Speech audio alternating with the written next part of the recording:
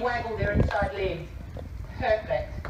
You've got a right hand, everyone's got a right hand. Let me see it, that's great.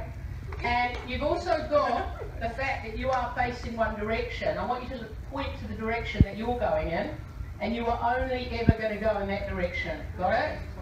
That's it really, that's all you have to think about.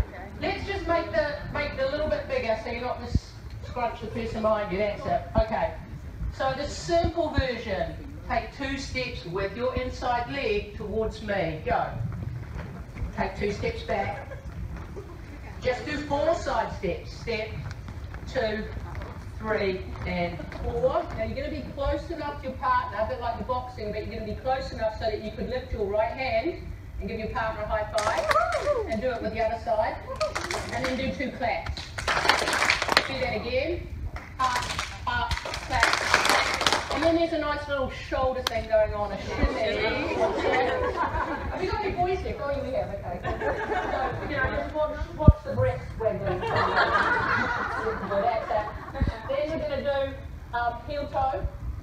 And on the other side, heel toe. You're going to reach out with your right hand and you're going to pass your partner and find yourself a new one. So there,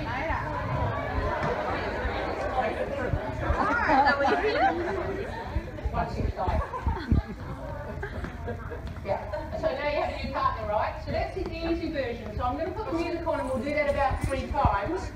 And then we will stop there and we'll make it perhaps a little bit more difficult. You want one, one more practice? Yeah. Alright.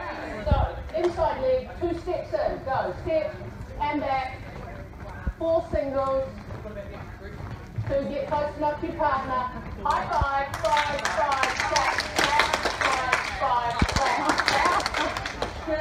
Heel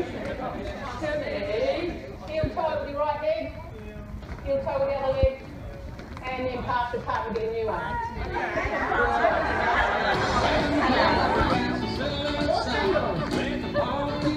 Get close to your partner. High five.